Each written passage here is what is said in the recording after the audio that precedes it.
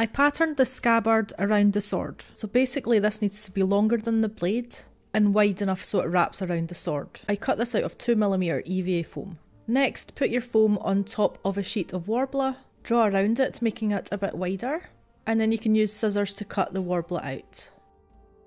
Repeat this again, and then what you can do is you can sandwich the foam inside the two sheets of Worbla. To do this, you need a heat gun. The heat gun makes the Worbla more malleable and activates the glue, so the Worbla actually sticks to itself. All you need to do is continue heating all the way down there. You can use a wooden sculpting tool to press the edges together, and then use scissors to remove the excess. Repeat this whole process once more so that you've got two sides. And now we're going to join these two together. So use the heat gun again and first of all join these two edges together.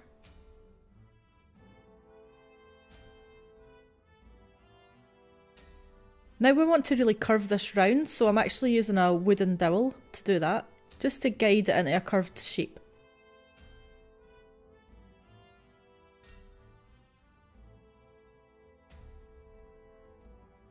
I can then close the other side.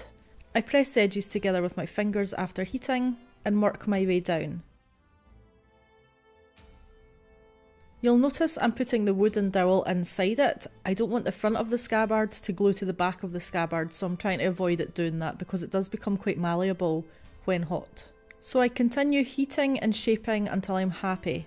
You'll notice that there's quite a lot of bumps and things like that on the Worbla. This is actually why I chose the Worbla because if you look at Lagertha's scabbard it looks like it's been beaten up a bit and I thought Worbla is perfect for that. Worbla also has a weight to it, which I felt would be helpful to stop it moving about. So next I mark out this area here. This is basically where we're putting our strap and I want to find a way to keep that strap in place.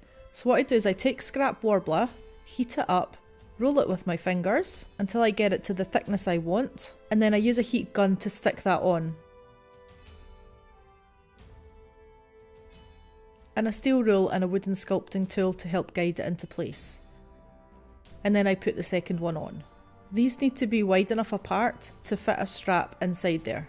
Now we're going to wrap the scabbard with faux leather. You want to find a rough centre line on the back of the scabbard by measuring across, adding points and joining them up.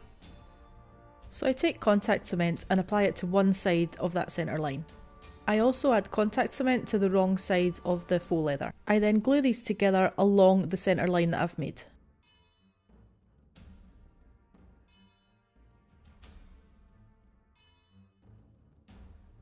Just watch when you get to these little ridges here and just take your time.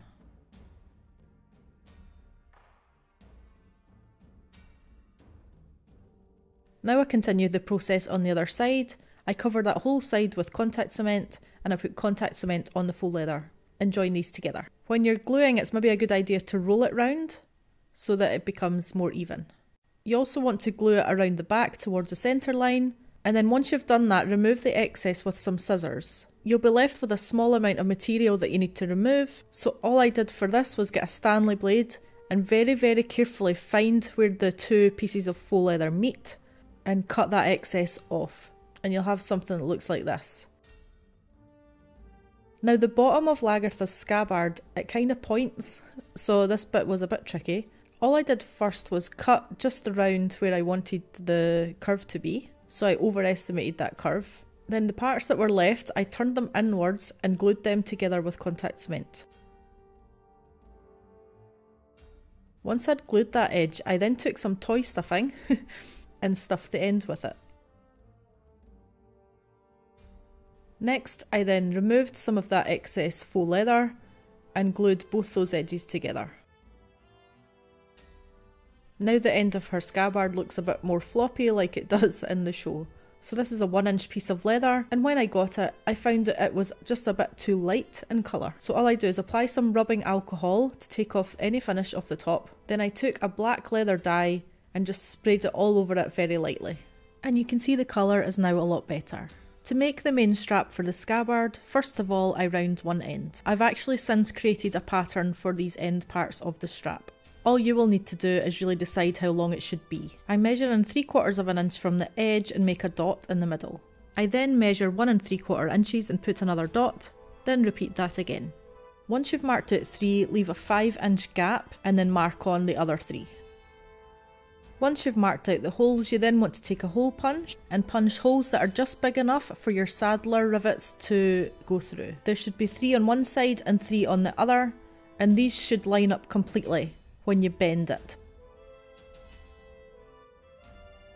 Before you rivet these together, remember to put your D-ring inside at the curve.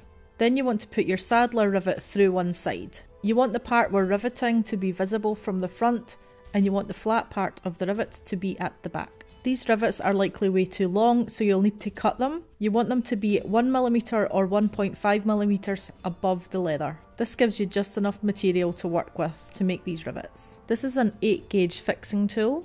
You use the hollow side to push down the washer, and then you use the domed side to finish the main rivet. If you hit it several times, it goes into a nice domed shape. Once you've got that strap made, we can move back to the main scabbard. We're going to add some leather 3 quarter inch straps that fit inside the ridges on the scabbard. So we want to connect these together. And what I actually do is just add in two holes on either side.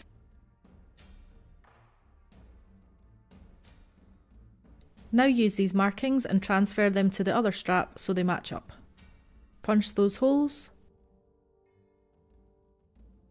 and put some simple double cap rivets through. Usually when you buy a set like this you would get a tool with it. So use the setting tool and set these two rivets. Now is the tricky part, you need to work out where they go on the other side. You don't want these to be too tight, but you also don't want them to be too loose, they're meant to hold the scabbard in place. So what you can do is put it around the scabbard and then pull it as tight as you can and put markings. You can then take those markings off and rivet them.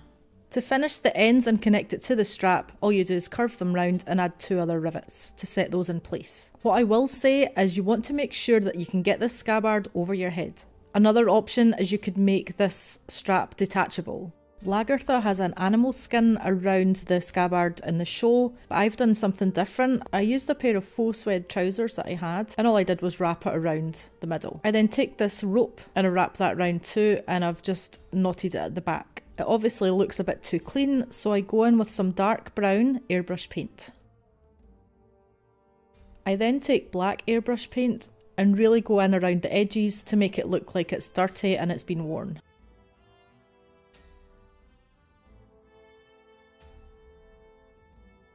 To make the belt, start by rounding one side of your leather strap with a Stanley blade. From that, you want to measure in 3 quarters of an inch from the end and put a dot in the centre. From that dot, measure an inch across and put another dot. And then from that new dot, you're measuring in half an inch and putting in a dot there. From the third dot, measure an inch along and put a dot.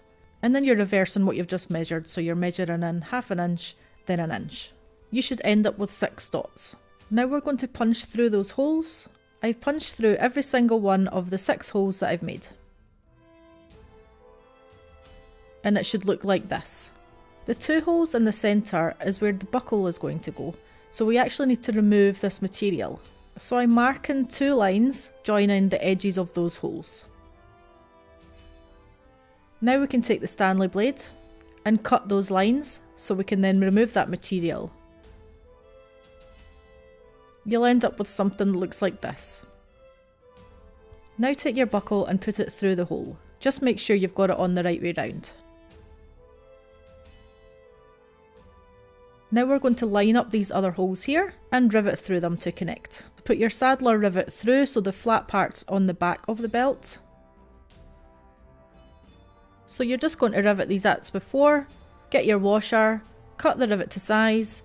If you have difficulty cutting them down to size, what you can actually do is use a file. So I used files on all of my rivets to get them down to about 1mm or 1.5mm. Get your washer and push that down with your setting tool and then use the domed side to set those rivets. So now you need to add the holes on the other side of the belt to get it to fit your body. I recommend putting the belt on and seeing where those buckle holes should be. I would do a quick temporary chalk marking with the costume on.